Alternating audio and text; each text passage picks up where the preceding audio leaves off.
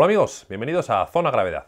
Hoy vamos a hablar del centro de balanceo, que me atrevería a decir que es un poco la madre del cordero del comportamiento de la suspensión, y no sé si casi casi que del vehículo completo, y es, es fácil de entender, tiene mucha, mucho misterio alrededor, pero los conceptos fundamentales son muy sencillos y los vamos a entender enseguida.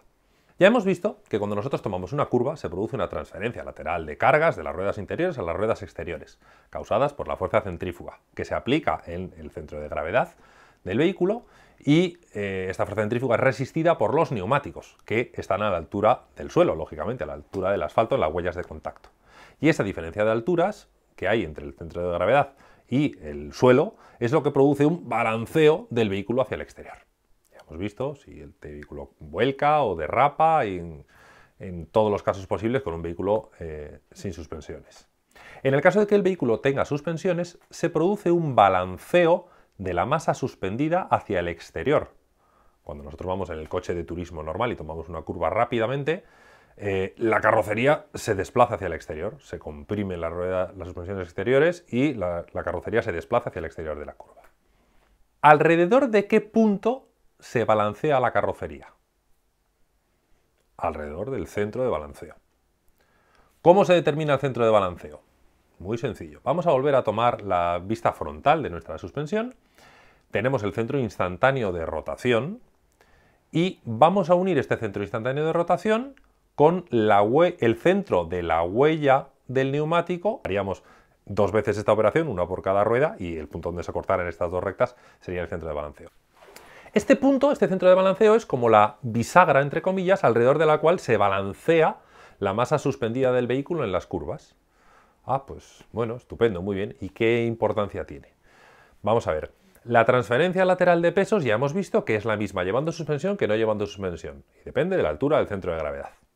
Pues bien, la altura del centro de balanceo es la que determina qué parte de esa transferencia lateral de cargas se va a producir balanceándose el chasis y por lo tanto comprimiendo los muelles de las ruedas exteriores y qué parte de esa transferencia se va a, transportar a través de las articulaciones, a través de los miembros rígidos, a través de los trapecios, a través de las rótulas.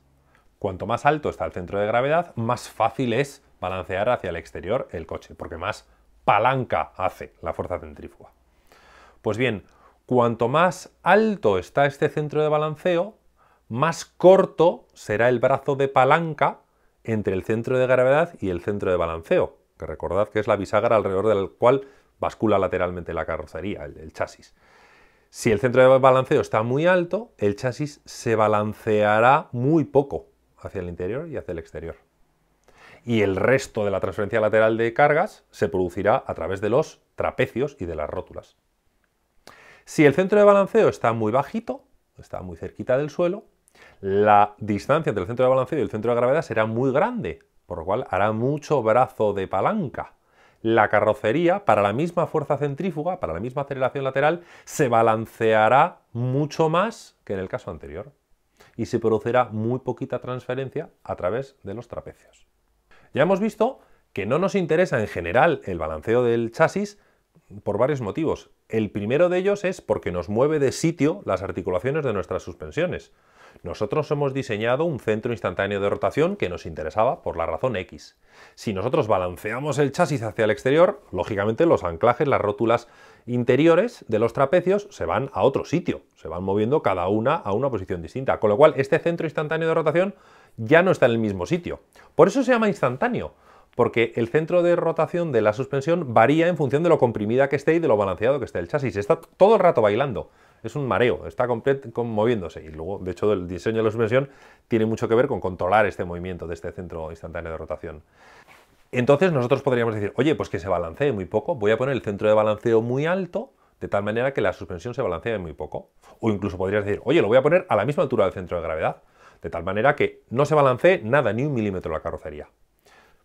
La teoría es muy bonita, tiene dos inconvenientes gordos. El primer de ellos y más importante es el, efecto cuña, el jacking que se llama. Cuando tú tienes un centro de balanceo muy alto, estas fuerzas laterales lo que hacen es elevar estos puntos de articulación del chasis y realmente elevan el chasis del suelo.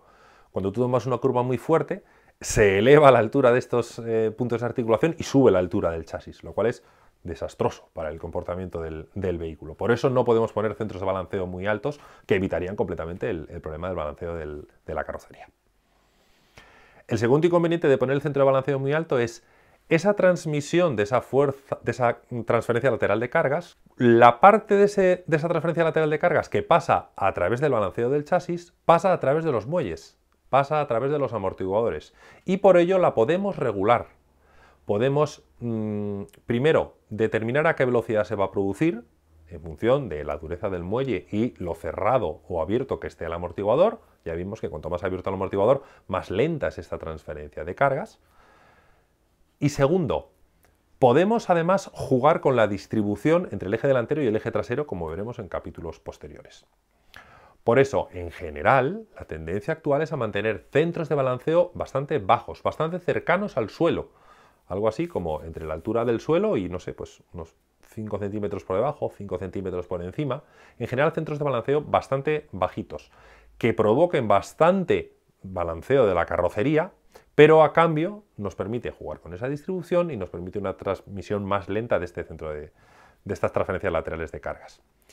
Para controlar la cantidad de balanceo del chasis tenemos otros elementos, como por ejemplo las barras antibalanceo o la correcta regulación de los tarados de las suspensiones. Esta determinación del centro de balanceo se puede realizar con cierta facilidad en la posición de reposo del vehículo, pero una vez que las suspensiones empiezan a comprimirse y a extenderse y el chasis empieza a balancearse, realmente se vuelve una especie de galimatías.